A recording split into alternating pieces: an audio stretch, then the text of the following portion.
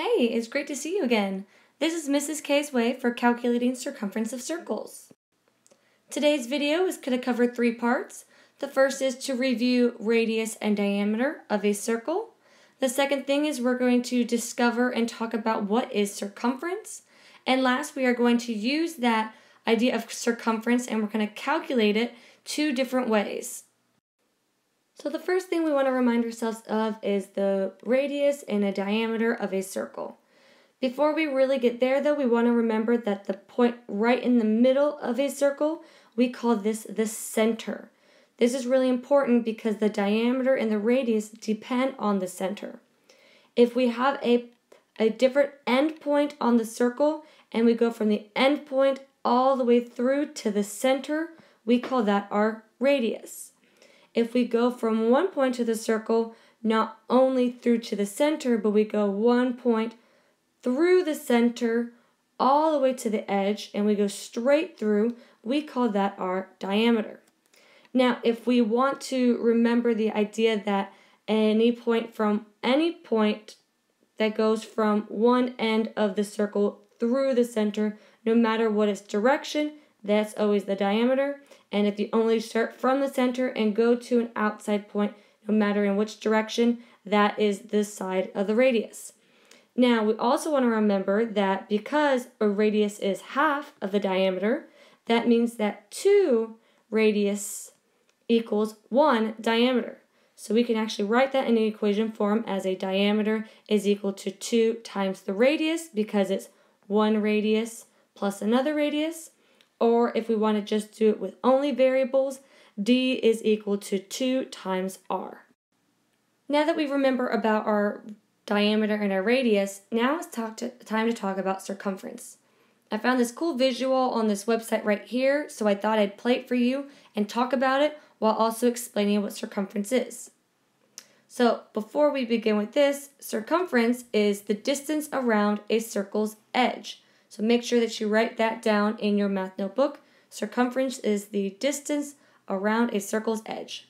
We saw that here in the video as the line that went all the way around the circle in, marked in red. Now if we keep looking and we take that circle and the yellow circle and we take it three different times and we take it from here and we move it all the way to the edge one, two, three different times and we unravel this circle and we lay it flat across, we see that there are one, two, three different diameters of that same circle plus a little bit more. We can write that as the circumference is 3.14, so this is one fourth, um, or 0.14 of the diameter, and that right there is represented as pi. So pi can be represented as a decimal 3.14 or as a fraction 22 sevenths. Now if we want to be exact, we use the 22 sevenths. If we want to be approximate, we use the 3.14. But we can see right here that the circumference, or that red line, the area around the circle's edge, happens to be 3 of the diameters and a little bit more. So we can write it as this, circumference is equal to pi di times diameter, or we can use the commutative property and we can rewrite it as circumference is equal to our diameter times our pi. Or if we want to go even further, another way we see this is that we also know that if we rewrite this, but we don't want to write the diameter, we can get rid of the diameter here, and instead we can remind ourselves that diameter is the same as 2 radii. So we can either write it as circumference is equal to diameter times pi, or as is more commonly known as, circumference is 2 radius times pi, or 2r pi. Now we can use that different equation of our 2 times our radius times pi in order to calculate our circumference of in two different ways. So we're going to first start with estimating with pi as 3.14 and the second time we're going to be using the exact as 22 sevenths. So if we look over here on the left, we are going to be using our circumference is equal to 2 times the radius times our pi, which is 3.14. Now, in our original problem, we want to find the circumference of a circle with a radius of 8 centimeters. So 8 centimeters right there. So we can plug that in, and we get 2 times 8 times 3.14. After multiplying that out, we see that the circumference of the circle happens to be approximately 50.24 centimeters. Now it's important that we know that this is approximate because the idea that pi is a number that goes on forever. So although we're using the approximate number and rounding it up to 3.14, it happens to be an unending number that would start be 3.14, 159, da da da da da da, and it goes on infinitely. So by approximation, we know that this is about 24 hundredths, but it could be something more.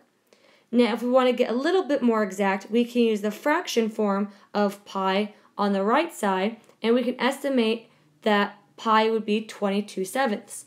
So if we write our equation again, we are using the 2 times the radius times pi because we know here that we have a radius and not a diameter. So if we rewrite that with our new 8 centimeters, with 22 sevenths. Remember, we can put both these different whole numbers over 1. Now I'm going to multiply my numerators times each other and then my denominators by each other, and I get 352 sevenths centimeters. So as you can see, we are obviously going to be dealing sometimes with decimals and sometimes we'll be dealing with fractions. We'll let you know which ones we expect at which time, but just understand that we can find circumference two different ways by using two different values for pi, whether we want to approximate or if we want to have the exact number. And as usual, I usually end with a picture of my puppy Callie, who's now one year old. Here she is when we're gearing up for a nice long hike. She's even strong enough to carry her own pack with all her own food and own toys.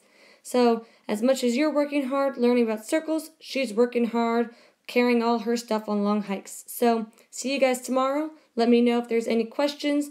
Please make sure that if you do have questions, you email your teacher or add something to the comment, questions, or concern section of your Google form. See you then.